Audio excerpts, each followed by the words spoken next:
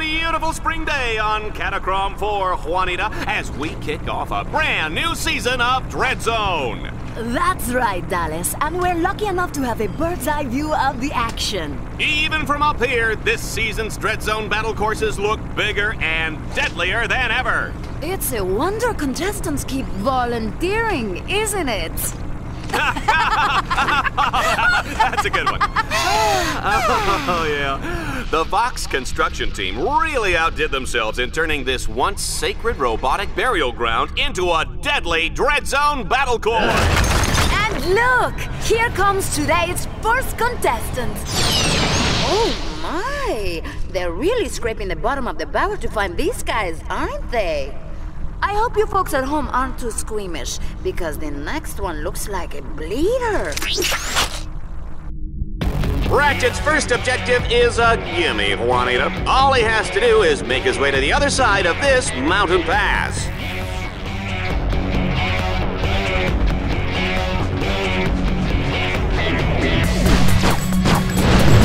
The shields on that turret are impenetrable. You will have to use an EMP to take them down. Command your bot to toss out an EMP by pressing the left directional button.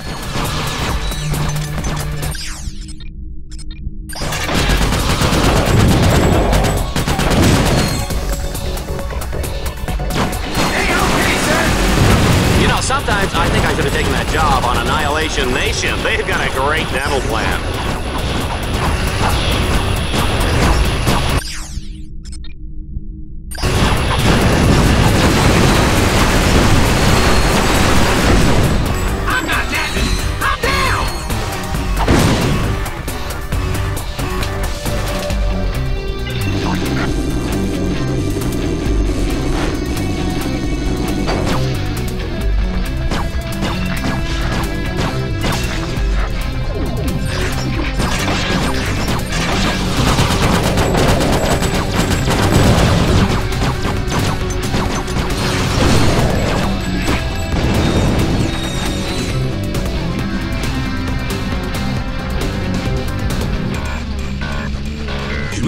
EMP on that platform? Yes, sir.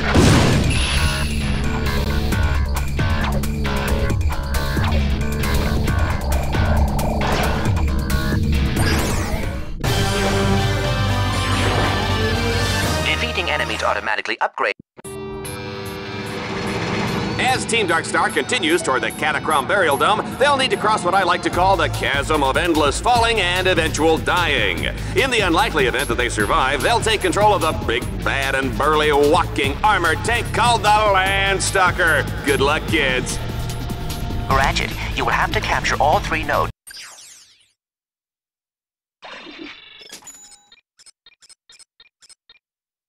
To extend the bridge.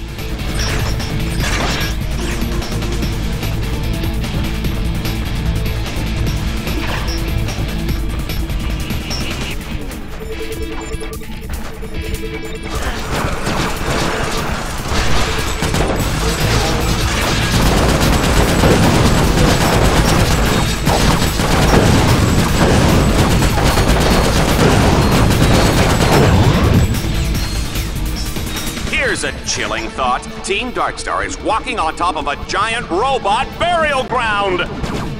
Ratchet, if you want to extend the bridge, use the node crank.